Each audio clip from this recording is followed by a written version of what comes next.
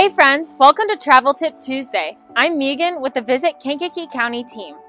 I'm here at Festival Square in Kankakee to share some tips about getting the most out of festival season, which is right around the corner. If you hear about a festival that sounds fun to you, always double check whether or not it requires tickets in advance. Some festivals do sell out. Also, depending on the type of festival you're attending, the schedule of events might be different each day, be sure to check ahead to make an itinerary for yourself that will ensure that you get the most out of it. We look forward to seeing you in Kankakee County. Check back next week for more travel tips from our team.